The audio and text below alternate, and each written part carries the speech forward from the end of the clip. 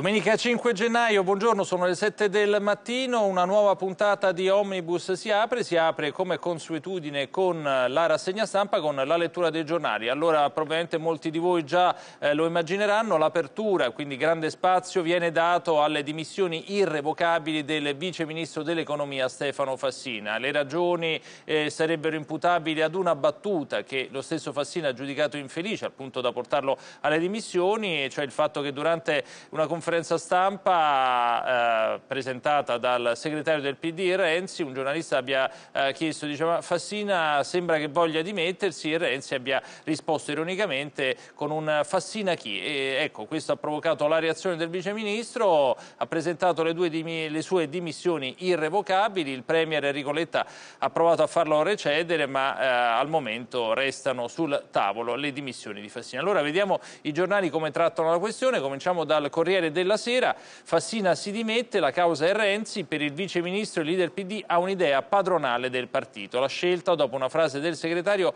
che ha finto di non sapere chi fosse, governo scosso, Letta preoccupato. E poi ancora andiamo, scendiamo nella pagina, eh, vedete, di taglio centrale, caos delle scadenze per le tasse sulla casa, ancora non sono chiari le aliquote e i tempi. E poi la foto ritrae dei miliziani, presunti miliziani di Al-Qaeda, eh, allora che cosa è successo? Che dopo due anni, lo vedete, lo scrive qui Franco Venturini, due anni dopo il ritiro americano dall'Iraq, la bandiera nera di Al-Qaeda sventola a 60 km da Baghdad, cioè a Fallujah. In basso ancora Vedete Aldo Grasso si occupa di Denis Verdini, l'esponente vicino a Silvio Berlusconi. Allora leggiamo che cosa dice. Innanzitutto nel titolo Verdini, il riformista viola che ha già abolito il Senato. Matteo Renzi, lo sapete, ha proposto con una lettera mandata ai leader, agli esponenti di partito, una riforma della legge elettorale con tre opzioni e poi tra le altre cose ha proposto anche l'abolizione del Senato. Allora scrive Grasso, per giungere allo scopo il suo interlocutore preferito è Denis Verdini. Eh, Denis Verdini naturalmente naturalmente per quanto riguarda eh, l'altra parte eh, politica, che giorni fa gli ha telefonato. Dice pare che in materia eh, parlare con il senatore Verdini sia come parlare con Silvio Berlusconi in persona. I due si conoscono, cioè Verdini e Renzi, si capiscono al volo, stessa furbizia toscana e stesse maniere sbrigative. Non hanno bisogno di intermediari di ambasciatori, semmai possono contare su molti amici in comune di diverse e variegate appartenenze. Matteo si è messo in testa di abolire il Senato, ci ricorda Grasso, è convinto che il ping pong tra Camera e Senato sia superata, che oggi si debbano fare le cose più spedite. E allora eh, qui diciamo il colpo di teatro di eh, Aldo Grasso perché dice ecco il segreto che vi svelo. Il senatore Verdini è l'assenteista numero uno del Senato, cioè di quella Camera, di quel ramo del Parlamento eh, che Renzi vuole abolire. In questi nove mesi e mezzo di eh, legislatura, dal 15 marzo 2013, l'ex coordinatore del PDL ha partecipato solo a due votazioni su 2070. Per lui il Senato non esiste più da un pezzo e fatta salva l'indennità di fatto lo ha già abolito. Così eh, Grasso. Vediamo la eh, Repubblica, il titolo naturalmente sul caso Fassina, governo PD scoppia il caso Fassina, Renzi ironizza, il vice ministro si dimette, ultimatum sulla legge elettorale. Nell'occhiello alla segreteria dei democratici il leader annuncia sulla riforma del voto accordo entro una settimana, poi attacca Alfano sulle unioni civili. Vi segnalo eh, di spalla, lo vedete, il, um, questo editoriale di Eugenio Scalfa, il fondatore proprio del giornale La Repubblica, il Dio che affanna e che consola. E allora vediamo che cosa scrive in questa prima parte, poi naturalmente il seguito è a pagina 23 per chi vuole approfondire. Allora Scalfari dice appartengo alla categoria dei curiosi e finché dura mi ci trovo bene, specie in un'epoca come quella in cui viviamo, dove i temi e le persone eh, che destano curiosità sono numerosi e configurano un panorama molto frastagliato. Volessi farne un elenco, scrive Scalfari, lo aprirei con Papa Francesco e poi a seguire Giorgio Napolitano, Angela Merkel, Barack Obama, Enrico Letta, Matteo Renzi, la generazione dei giovani nati tra gli anni 80 e 90, la generazione dei bambini nati dopo il 2000 e che ora eh, hanno almeno 5 anni. Ci metterei anche il, mutame il mutamento climatico, l'economia globale, le nuove tecnologie della comunicazione. E poi ancora comincio da Papa Francesco, ne ho scritto già più volte, ma ogni giorno eh, ci reca una nuova sorpresa e anche nuove polemiche dentro e fuori dalla Chiesa. E allora proprio su questo, vedete, il Papa apre alle coppie gay, da loro nuove sfide educative svolte nell'incontro con i superiori generali. Dobbiamo annunciare Gesù a una generazione che cambia. Sono le 7.05 minuti, diamo la linea alla regia per la pubblicità, ci vediamo tra qualche istante e continuiamo insieme la lettura dei giornali. Vi aspetto.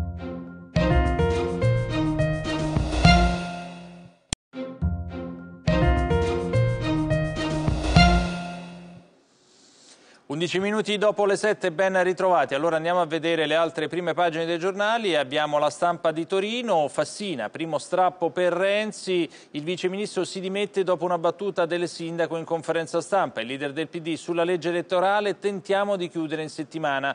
Nell'occhiello si spiega eh, il, il GES a Firenze segreteria riunita a 5 ore e poi l'attacco ad Alfano, non usi diritti civili per bloccare le riforme. In basso abbiamo di Fabio Martini il retroscena, vedete la sinistra ha rotto la tregua, la sinistra del PD vilipesa e depressa dopo la sconfitta storica alle primarie si è ripresa la sua libertà di giudizio e di azione con un gesto eloquente, le dimissioni dal governo di Stefano Fassina, il quarantenne di punta dell'era eh, Bersani. Ritorniamo per un momento in alto nella pagina, vi segnalo un'altra notizia che troviamo anche su altri giornali, a lupo a lupo ricomincia la strage, la guerra cruenta dei pastori. Negli ultimi cinque mesi tra Maremma e Umbria otto esemplari uccisi a fucilate e bastonate ed esposti in piazza. E poi nella foto, ritorniamo in basso, niente assalti, la caccia agli sconti a tutto l'anno, primo giorno senza botto, code e ressa solo nelle boutique del centro a Torino e Milano. È iniziata ieri, come sapete, la stagione invernale dei saldi. Il messaggero, governo, primo strappo di Renzi, il leader PD Gela Fassina che si dimette dall'esecutivo, poi Pungeletta, spread giù, merito di Draghi. Agli alleati legge elettorale in sette giorni, Alfano non usi le unioni civili per bloccarla, nuovo centrodestra, così è crisi. E poi vi segnalo eh, di spalla questo intervento di Romano Prodi sul Medio Oriente, il titolo Il ruolo chiave dell'Italia per salvare il Libano. Naturalmente il messaggero si occupa anche di calcio, questa sera eh, oggi c'è la, ehm, la, super sfida dello, mm, per lo scudetto Juve-Roma, ecco la super sfida ha a Torino per vincere. Poi ritorniamo invece giù in taglio centrale, nuove tasse sugli immobili, a gennaio si rischia il caos, giallo sui versamenti, tasi verso un rincaro prima di nascere. E poi l'anticipazione di un'intervista al ministro Giovannini, ecco il piano per il lavoro, quattro priorità per ripartire subito, lo vedremo subito eh, dopo. Il Sole 24 Ore, quotidiano della Confindustria, fisco record sull'impresa, il total tax rate al 65,8%, tasi verso l'emendamento sul 3,5% per mille per la prima casa. Il titolo su eh, Fassina, Renzi, Fassina chi e il vice ministro all'economia si dimette. Vediamo l'unità allora, il quotidiano del PD come titola Renzi accelera, Fassina lascia. Il segretario sulla legge elettorale risposta in una settimana, attacca Alfano sulle unioni civili, ha azzerato la famiglia, ma una frase sul vice ministro crea un caso politico, dimissioni irrevocabili. Così l'unità. Libero sceglie un'apertura diversa, sentenza shock, obbligo di moschea in tutte le città. Il TAR della Lombardia accoglie il ricorso degli islamici e boccia il piano regolatore di Brescia, altra bastonata giudiziaria alla politica e ora prepariamoci all'invasione. Vi segnalo che Libero eh, mette qui in basso la notizia di Fassina, vedete Matteo caccia Fassina ma è in minoranza fra i suoi stessi parenti. Vediamo il fatto quotidiano, torna invece a dare molto risalto alla notizia, Renzi dimette Fassina Fassina, primo siluro al governo, Fassina chi? Una battuta del segreto del PD provoca uno smottamento nell'esecutivo. Il vice ministro dell'economia annuncia dimissioni irrevocabili, creando un problema a letta tra il sindaco e il giovane turco schierato con Cooperlo, eh, già scintille in passato. Il giornale Letta alla frutta, il governo perde i pezzi, si dimette il vice ministro Fassina in polemica con Renzi, rimpasto in vista, elezioni pure, Alfano isolato e umiliato, prove di rientro a casa. E poi da De Girolamo a De Magistris, vedete ritratti qua nella foto, che pena le intercettazioni fai da te, l'ultima frontiera degli spioni, privati che registrano le conversazioni con i politici. In basso tasse e tariffe, imprese stangate e i pedaggi inchiodano la ripresa. Concludiamo con due giornali sportivi, la Gazzetta Sportiva, stasera Juve-Roma per chi suona lo scudetto e poi il Corriere dello Sport, anche in questo caso lo vedete i due allenatori quasi sembra eh, che si guardino, tutta la verità, Juve-Roma, lo scudetto in gioco. Allora, cominciamo con gli approfondimenti, naturalmente partiamo proprio dalla eh, vicenda eh, Fassina, partiamo e mm, andiamo a leggere il eh, retroscena di Tommaso eh, Ciriaco su Repubblica, vediamo che cosa scrive. Allora, Letta pronto a scendere in trincea, pagina 3, vedete, con Matteo ora è sfida politica. Allora scrive, consapevole dei rischi, Letta studia da giorni le contromosse, l'obiettivo è imbrigliare il nuovo leader democratico con il rimpasto. Eh, una volta che si ragiona del patto di governo si ragiona su tutto, io sono pronto, così. Dice, ma al Presidente del Consiglio interessa di più l'opportunità di frenare il pressing renziano, per questo alzerà l'asticella e tornerà alla carica per proporre la promozione di Graziano Del Rio, unico ministro vicino al sindaco, interni difesa o giustizia, questo il ventaglio sottoposto a Renzi. E ancora, il segretario per adesso prende tempo, ehm, reclama innanzitutto un'intesa sulla legge elettorale. A buon gioco, a chiedere una scossa sui problemi, non sulle poltrone. E allora, siccome eh, Tommaso Ciriaco ha chiamato in causa eh, in questo retroscena del Rio, il ministro del, del Rio, vi segnalo un'intervista sul Corriere della Sera, pagina 3, vedete proprio il ministro del Rio, la battuta non ha aiutato, eh, ha dichiarato ma le dimissioni erano già annunciate Stefano, riferendosi a Fassina, dice è persona seria, il segretario non voleva insultarlo. Il ministro Renziano, nessun rischio frattura, anche se sarebbe stata utile una discussione approfondita piuttosto che un'accelerazione di questo tipo. E poi vi leggo questi due sommari per eh, brevità di tempi naturalmente. Le priorità fuori da economia, stabilità e riforme non c'è contratto di maggioranza e sulla legge elettorale il Ministro del Rio dice dialogo aperto con tutti ma l'accordo deve partire dal perimetro degli alleati. Così il Ministro del Rio. Ritorniamo al quotidiano Repubblica perché a pagina 2 eh, ospita un'intervista intervista a, a Civati, eh, sfidante eh, di Renzi alle primarie. Io che volevo votare subito non mi auguro una fine traumatica della legislatura. E allora come commenta la vicenda Fassino? Dal sindaco un accesso di supponenza, ma Stefano ha colto al volo l'occasione. E allora eh, gli chiedo Umberto Rosso che l'ho intervistato, onorevole Civati, ha sbagliato Renzi a snobbare platealmente il viceministro? E risponde eh, Civati, al suo posto non l'avrei fatto, se ogni volta che uno propone qualcosa che non aggrada il segretario eh, tira fuori tanta supponenza, chi si azzarda più a sollevare la minima critica? E poi ancora dice, ma lo strappo di Fassina è arrivato troppo botta calda? Forse non aspettava altro per mollare e ha colto al volo l'occasione. Già una volta Fassina aveva minacciato le dimissioni poi rientrate. Dentro il governo la sua posizione si stava facendo sempre più difficile, la sua linea in rotta di collisione con quella del nuovo segretario. Insomma, gli chiede ancora Rosso, l'incidente è stata l'ultima goccia. Eh, dice quel che è successo dimostra quanto sia fragile e instabile il rapporto fra l'intero governo Letta e il PD a trazione Renzi. E ancora dice ehm, chi tocca il rimpasto muore, dice Letta vorrebbe renzizzare il governo, sta valutando se mettere dentro due o tre uomini di Matteo per garantirsi il cammino, però sa anche che, danza, che la danza delle poltrone che innesca può diventare una danza macraba per l'esecutivo, rischia di non controllarla. E ancora dice il segretario dice con i suoi ministri e con un patto di governo sottoscritto è chiaro che l'esecutivo diventa il governo del segretario e addio alle, alle mani libere. Ancora dice messa così la strategia di Renzi è un abbraccio mortale per Letta, la tensione è fortissima, il governo in realtà è sempre più fragile, una volta eh, lo dicevo solo io, ora vedo che in tanti non gli danno lunga eh, vita.